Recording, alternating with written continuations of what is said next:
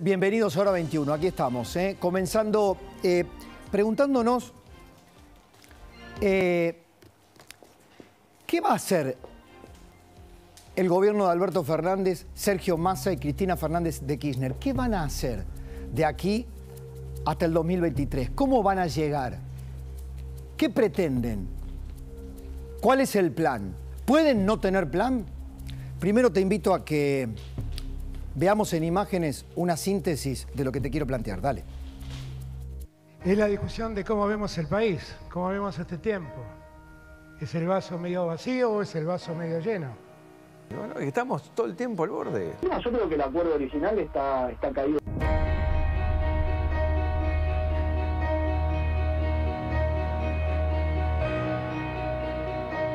Está claro que el programa no está funcionando. El mismo informe del fondo de este mes habla de un repunte no del programa económico, sino de la inflación.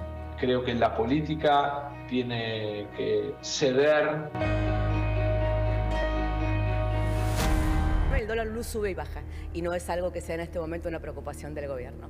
El dólar luz no representa el mercado, no representa la economía, es un mercado marginal. En ese país no invierte nadie. Nosotros necesitamos que los argentinos eh, primero y el mundo después vuelva a invertir. ¿Usted le encuentra alguna otra salida a esa basura amontonada en el Banco Central? Y yo creo que todo eso va a provocar inflación. ¿Es el vaso medio vacío o es el vaso medio lleno?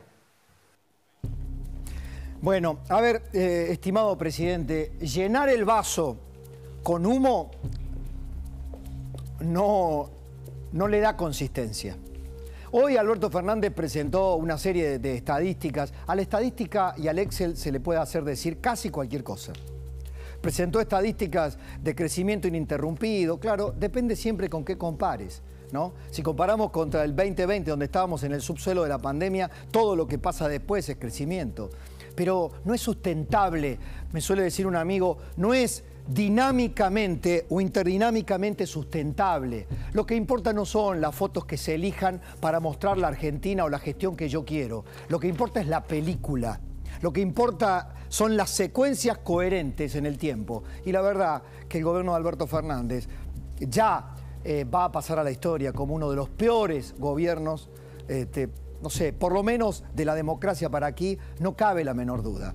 Eh, por su performance política y su performance económica. Pero ya está, el diagnóstico es harto conocido. Lo que pretendo en este programa, con, mucha, con mucha modestia, es preguntarle a nuestros interlocutores y preguntarles a ustedes en este viernes por la noche si la Argentina se puede dar el lujo de procrastinar flotando o o con la pretensión de flotar hasta 2023, hasta que llegue la oposición. Un año falta. ¿La Argentina puede no tener plan? Esto, esto que está ejecutando Massa no es un plan. Guzmán tampoco presentó nunca un plan. Ya desde tiempo de Néstor Kirchner se jactaban de no tener un plan. Tener un plan pasó a ser a tener mala prensa. Desde que se quiso eh, poner a caballo como el sinónimo de aquel planificador perfecto que terminó fallando eh, en el delirio final del gobierno de, la Rúa, cuando se perdió la credibilidad y cuando todos los vientos soplaban en contra y cuando el peronismo contribuyó para la caída, desde ese momento pareció, y gracias a Néstor Kirchner, que tener un plan era una osadía impensable para la Argentina. Ahí está la Argentina, sin brújula, sin plan y sin la formulación mínima, coherente, de a dónde vamos. Cuando le preguntaba a Caballo la semana pasada sobre la basura debajo de la alfombra, me estaba refiriendo claramente a los pasivos monetarios, a los pasivos no, no remunerados, del Banco Central, las LELIC, los pases, todo eso que se inventó para que la emisión monetaria que se usa para financiar un Estado que no se puede financiar por sí mismo, no explote hoy, explote mañana. Estoy hablando de esto eh, haciendo una simplificación absoluta, a frente de un ex titular del Banco Central de la República Argentina como Alfonso y otro gran economista como Hernán. Pero para que entendamos en un lenguaje coloquial usted y yo, hay basura debajo de la alfombra. Hay una sorpresa retardada que se va a tener que saldar o con una mega devaluación o con un plan Bonex o con algún sucedáneo de esa naturaleza. ¿Cuándo llegará? No lo sé. Pero de vuelta, este es un billetito y este es el 2023. Así, este es el plan del kirchnerismo. ¿eh? Flotar, tratar de flotar. El plan llegar, 15 tipos de cambio para esconder que no tenemos moneda. Hoy charlaba con una eh, representante venezolana de Transparencia Internacional. Le preguntaba, ¿ustedes tuvieron 15 tipos de cambio? No, me dijo, no.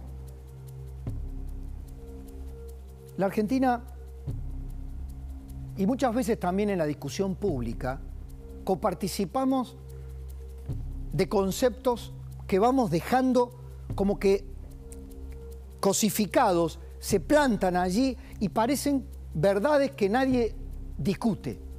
Por ejemplo, este gobierno no puede tener ningún plan porque tiene cero credibilidad.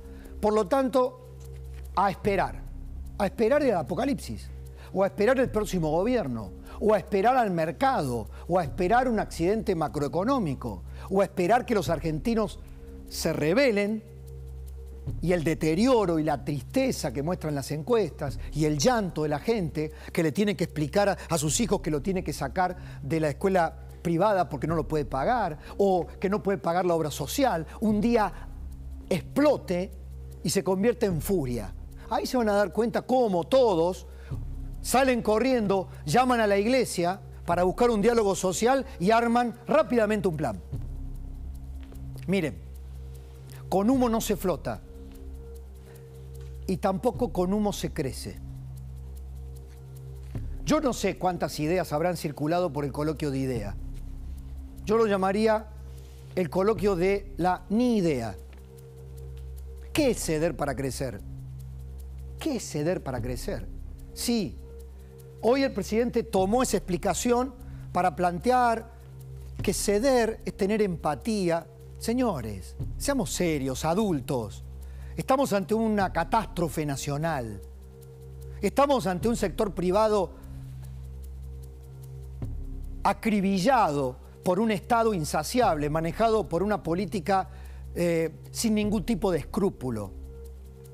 El sector privado está ahogado, está esquilmado. Lo que se ha construido en la Argentina es un gran corporativismo de capitalismo de amigos. ¿Qué es ceder? Ceder al poder de turno, principios de libre competencia, de mercados abiertos, ceder al gobernante de turno, ceder en un despacho de lobby estatal para lograr un tipo de cambio que me favorezca, si soy productor musical, si soy eh, provisoriamente productor agropecuario? ¿Se dan cuenta cómo el Estado termina corrompiendo al mundo empresario, al trabajador, al ciudadano de a pie? ¿Frente a qué hay que ceder? Los argentinos venimos cediendo convicciones, venimos cediendo patrimonio, venimos cediendo derechos nos están hirviendo como ranas y no nos damos cuenta. Por eso, ciertamente me revelan algunas actitudes, por ejemplo las antigrietas. No es porque yo desee la grieta ni quiera estar en una parte de la grieta, es porque esa metáfora sirve para con el dedo acusador señalar a tirios y troyanos y muchas veces colocarse en un lugar de supuesta neutralidad a salvo de pecados. Los empresarios, muchos de los que estuvieron reunidos en el coloquio de idea, tienen mucho para explicar de por qué el fracaso de la Argentina nos ha traído hasta aquí. Pero también tienen que explicar cómo van a acompañar a un futuro gobierno si el futuro gobierno, por ejemplo, rompe los parámetros de proteccionismo, de vivir con lo nuestro, de darle negocios a los amigos y abrirles y decirles, compitan señores, compitan, porque el mundo que vamos a recibir es un mundo absolutamente hostil, mucho más hostil que el mundo del 2015, que le tocó a Cambiemos. Lo que se viene en el mundo es una recesión enorme, la guerra y las consecuencias, la reconfiguración de las grandes potencias, China que está a punto de definir su propio rumbo, Estados Unidos con un presidente dubitativo que se enfrenta a una elección de medio término y Donald Trump que quiere volver por la presidencia, Europa vacilando, tratando de zafar de la encerrona que le hace Putin, temiendo pasar un invierno dramático Ahí está el Reino Unido, tambaleando financieramente con la libra esterlina después de haberse separado de Europa. Es un mundo que no nos va a esperar, ni nos va a contemplar.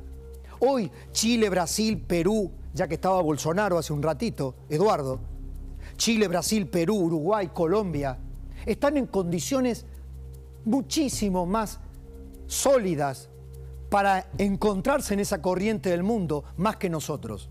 ¿Saben por qué? Por algo que ya hasta me parece